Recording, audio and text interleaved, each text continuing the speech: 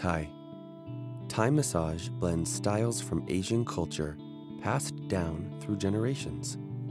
This massage technique doesn't use oils or lotions, but is applied by the practitioner with a method using point pressure, stretching, compressions, and gentle rocking with the hands, forearms, feet, and knees to free tension from the receiver's body. It is applied on the mat on the floor while fully clothed.